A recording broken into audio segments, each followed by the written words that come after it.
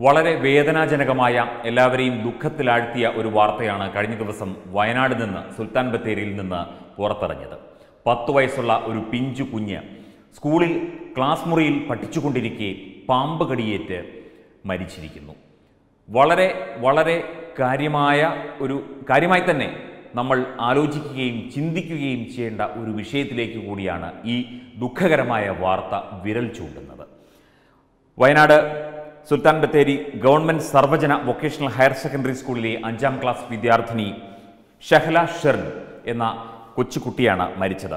പുത്തൻകുന്ന് നൊട്ടൻ വീട്ടിൽ അഭിഭാഷകരായ അബ്ദുൾ അസീസിന്റെയും സജനയുടെയും മകളാണ് ഷെഹല. ദുഃഖകരമായ അവസ്ഥ തന്നെ.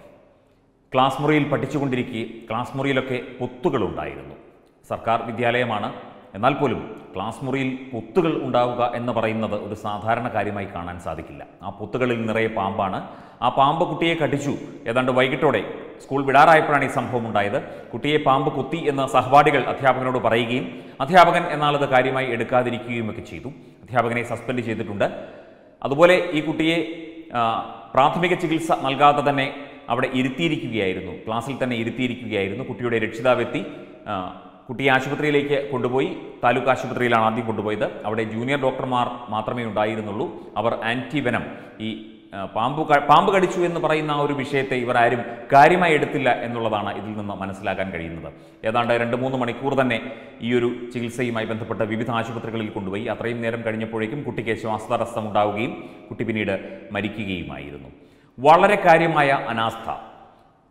ആ അധ്യാപകരുടെയും അതുപോലെ തന്നെ ഡോക്ടർമാരുടെയും ഒക്കെ ഭാഗത്തു നിന്ന് ഉണ്ടായി എന്നുള്ളതാണ് ഇത് വെളിവാക്കുന്നത്. ഇത്രയും ഇത്രയും വലിയൊരു കാര്യം നടന്നിട്ടും ഇത്രയും ഒരു കുട്ടിയെ പാമ്പ് കടിച്ചു എന്നുള്ള കാര്യം കുട്ടി പറഞ്ഞിട്ടും കുട്ടിയുടെ സഹപാഠികൾ പറഞ്ഞിട്ടും അതൊന്നും കാര്യമായി എടുക്കാതെ ഒരു സാധാരണ രീതിയിൽ പനി വന്നാൽ ആശുപത്രിയിൽ കൊണ്ടുപോകുന്ന രീതിയിലുള്ള വളരെ ലാഘവത്തോടെ ഈ വിഷയം കൈകാര്യം ചെയ്തു എന്ന് വേണം മനസ്സിലാക്കാൻ. ഇപ്പോൾ ആ അധ്യാപകനെയും ഡോക്ടറെയും ഒക്കെ സസ്പെൻഡ് ചെയ്തിട്ടുണ്ട്. പക്ഷേ ഇത് മറ്റൊരു കാര്യത്തിലേക്കാണ് വിരൽ ചൂണ്ടുന്നത്. ആ സ്കൂളിലെ പല ക്ലാസ് മുറികളിലും ക്ലാസ് മുറികളിലും നിറയെ പൂത്തുകളാണ് ഇതുപോലെ.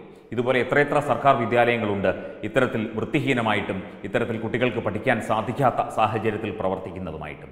കേരളം വിദ്യാഭ്യാസ രംഗത്ത് number one number one number one എന്നിങ്ങനെ ആവർത്തിച്ച് വ്യക്തമാക്കിക്കൊണ്ടിരിക്കുകയാണ് പിണറായി സർക്കാർ. കൂടാതെ വിദ്യാഭ്യാസ വകുപ്പ്. അതുപോലെ തന്നെ ആരോഗ്യരംഗത്തും. നമ്പർ വൺ ആണ് നമ്പർ വൺ ആണ് എന്ന് പറഞ്ഞുകൊണ്ടേയിരിക്കുന്നു.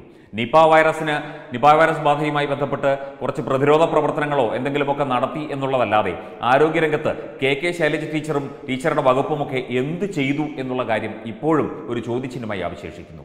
ഈ രണ്ട് വകുപ്പുകൾ അതായത് ഇന്ത്യയിൽ തന്നെ ഒന്നാം സ്ഥാനത്താണ് എന്ന് പറഞ്ഞു നടക്കുന്ന ഈ രണ്ട് വകുപ്പുകൾ വിദ്യാഭ്യാസ വകുപ്പും ആരോഗ്യ വകുപ്പും. ഈ രണ്ട് വകുപ്പുകൾ ഒന്നിച്ച് കാണിച്ച ഈ വകുപ്പുകളിലെ ഉദ്യോഗസ്ഥരായാലും അധ്യാപകരായാലും ആരായാലും ഡോക്ടർമാരായാലും ആരായാലും ഒന്നിച്ച് നടത്തിയ വളരെ ഗുരുതരമായ ഒരു കൃത്യവിലോപമാണ് ഈ പിഞ്ചു കുഞ്ഞിന്റെ മരണത്തിലേക്ക് നയിച്ചത് എന്നുള്ള കാര്യത്തിൽ യാതൊരു സംശയവുമില്ല. കേരളത്തിൽ എത്രയെത്ര സ്കൂളുകൾ കാട്ടിലും അതുപോലെ ട്രൈബൽ ഏരിയയിലൊക്കെ നിരവധി സ്കൂളുകളുണ്ട്.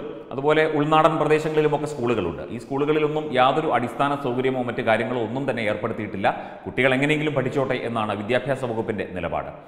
ഈ ക്ലാസ് മുറികളൊക്കെ ഹൈടെക് ആക്കുകയും അതുപോലെ സ്മാർട്ട് ക്ലാസ് റൂമുകളും കമ്പ്യൂട്ടർ ലാബും ഒക്കെ തുടങ്ങുകയും ചെയ്യുന്നതിന് പകരം ഒരു ഒരു ചാക്ക് സിമെന്റ് വാങ്ങി ആ തറ വൃത്തിയാക്കിയിരുന്നുവെങ്കിൽ ഈ കുട്ടിക്ക് ഈ ഒരു ദുർഗതി വരില്ലായിരുന്നു എന്ന കാര്യമാണ് ദുഃഖത്തോടെ ഈ ഒരു അവസരത്തിൽ ഓർക്കുന്നത്.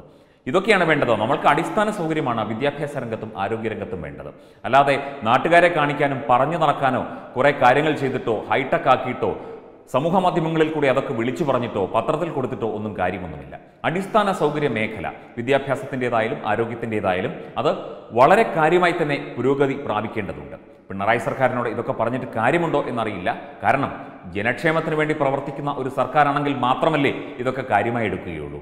ഇപ്പോൾ ഈ വിഷയം മാധ്യമങ്ങൾ ചർച്ചയാകുന്നു നടപടി സ്വീകരിക്കുമെന്ന് പറയുന്നു കളക്ടർ ഉത്തരവിടുന്നു അത് ചെയ്യുന്നു ഇത് ചെയ്യുന്നു. ആദ്യത്തെ കുറച്ചു കാലം ഇതൊക്കെ ഉണ്ടാകും. കുറച്ചു കാലം കഴിയുമ്പോൾ മാധ്യമങ്ങൾ ഇതൊക്കെ മറക്കുമെന്നും മറ്റു പല വിഷയങ്ങളും വരുമ്പോൾ അതിലേക്ക് പോകുമെന്നുമൊക്കെ പിണറായി വിജയന് നല്ല ഭംഗിയായി അറിയാം.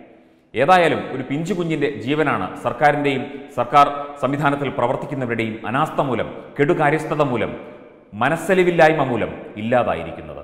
ആ കുട്ടിയുടെ കുടുംബത്തിന്റെ ദുഃഖത്തിനൊപ്പം പങ്കുചേരുന്നു. മാത്രമല്ല ഇനിയെങ്കിലും ഈ ഒരു വിഷയത്തിൽ ഒന്ന് ഉണർന്ന് പ്രവർത്തിക്കാൻ വിദ്യാഭ്യാസ വകുപ്പോ ആരോഗ്യ വകുപ്പോ ഒന്ന് ശ്രദ്ധിക്കണം എന്ന ഒരു വിനീതമായ അപേക്ഷ കൂടിയുണ്ട്. വെബ് ഡെസ്ക് തത്തുമൈ ന്യൂസ്.